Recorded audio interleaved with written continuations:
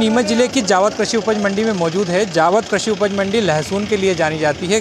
आ, इसके अलावा भी उपज आती है लेकिन कम मात्रा में आती है। उसका खास कारण यह है कि जो जावत कृषि उपज मंडी के पास ही नीमच कृषि उपज मंडी भी है। इससे जो दूसरी उपज है वो किसान नीमच में ले जाकर बेचते हैं। इस समय हम जावत कृषि उपज मंडी में एक व्यापारी हैं। उनसे जानेंगे कि किस तरह का वो मंडी में भाव है और क्या बिक रहा है अभी। भाई साहब पहले तो आपका नाम बताइए। मेरा नाम त्रिलोक जैन बालाजी ट्रेडिंग कंपनी जावत। यहाँ किसान संतुष्ट हैं उनका अच्छे दाम में लहसन यहाँ बिक रहा है। ऊपर में यहाँ आज बीस हज़ार पाँच सौ रुपये तक बिका है नीचे में आठ हज़ार रुपये है मिनिमम मिनिमम।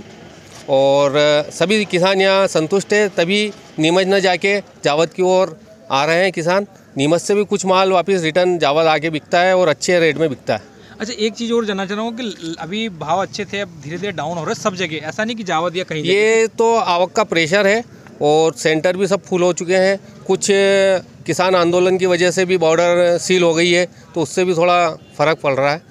अच्छा जावद कृषि उपज मंडी में क्या खासियत है कि और इसके अलावा क्या क्या बिकता है और क्या रहता है? कौन सी लहसन भी आती है तो किस प्रकार की आती है? लहसन यहाँ सबसे ज़्यादा ऊँटी लहसन आता है और ऊँटी लहसन ही सबसे ज़्यादा बिकता है यहाँ। देशी माल कम आता है।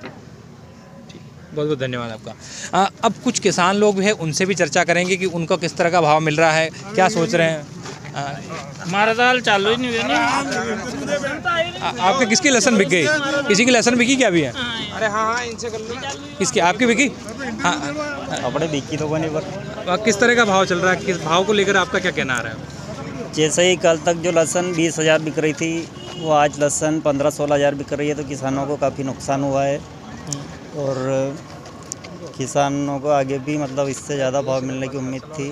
कुछ किसान ऐसे भी थे जिनकी लहसुन उनने बिकी लेकिन उनको भाव से संतुष्ट नहीं थे तो वापस ले जा रहे हैं। हाँ जैसे कोई गीला माल है कोई वापस भी ले जा रहा है कोई बेच रहा है लेकिन ये भाव मतलब ये कम लग रहा है किसानों को क्योंकि ज़्यादा भाव देख लिया है बत्तीस पैंतीस चालीस हज़ार तक जिन्होंने बेचा है उनको पंद्रह सोलह हज़ार बेचना थोड़ा मतलब कम लग रहा है। आधी कीमत हो गई इसलिए वो हाँ, नहीं आ रहे। लेकिन जैसा कि बताया जा रहा है कि आने वाले दिनों में और डाउन हो सकते हैं क्योंकि सबसे बड़ी खास बात यह है कि जो किसान आंदोलन चल रहा है उससे नीमच ज़िले की जो लहसुन मंडी है और दूसरे भी उपज है उनके भाव में कमी आ रही है।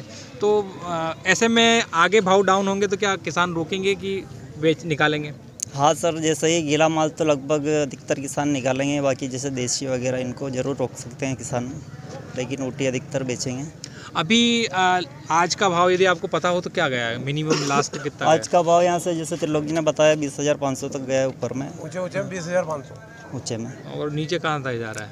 नीचे तो जैसी रेंज वैसा भाव है सर जैसे छः हज़ार सात हज़ार दस हज़ार जैसी क्वालिटी वैसा भाव है। और भी कुछ किसान हैं, उनसे बात करेंगे। क्या कहना भाई साहब आपको? क्या भाव को लेकर क्या कहना है? भाव तो अभी दो दिन, तीन दिन में काफ़ी कम हो चुके हैं और तीन दिन में ज़्यादा ही कुछ ज़्यादा ही मतलब डाउन रहा है। लगभग आधे आधे के करीब आ गए हैं भाव तो और तीन दिन के अंदर ही ये फ़र्क पड़ा है। जावद मंडी में भाव किस तरह के हैं? क्या नीमच से कंपैरिजन में ज़्यादा कम क्या है लगता है? नहीं कंपैरिजन में तो मतलब एवरेज ही चल रहे हैं ये तो दोनों वहाँ नीमच भी ठीक है नीमच में और यहाँ तो एक ही एवरेज चल रहा है लगभग। आपने जो लहसुन बेची थी कितने में गई आपकी? हमारी तो पहले गई थी तो अभी तो पहले हमने सत्ताईस अट्ठाईस तक मतलब लहसुन बेची थी और अभी बारह तेरह चौदह का भाव मिल रहा है। बिल्कुल आधे रेट पे रह गए आपकी लहसुन बिक गई कि अभी बची हुई है कुछ? बची है अभी तो। तो वो अभी निकाल रहे हैं कि नहीं निकाल रहे हैं आप? चालू है काम निकालने का। नहीं मतलब मंडी में लाएँगे क्या उसको? नहीं मंडी में तो अभी रोकेंगे अब। जो भाव आ रहा है उस हिसाब से तो रोकेंगे हम। तो ये जो दाम मिल रहा है उससे अभी संतुष्ट जो करंट में मिल रहा है उसको? नहीं इससे संतुष्ट तो नहीं है। कोई किसान नहीं है। तो कुल मिलाकर जो लहसुन के इन दिनों भाव जो लगातार डाउन होते जा रहे हैं इसके चलते अब किसान अपनी उपज को रोकना चाहता है। इसके पीछे मुख्य वजह किसान आंदोलन और उपज की ज़्यादा आवक हो जाना है। आ, मेरे साथ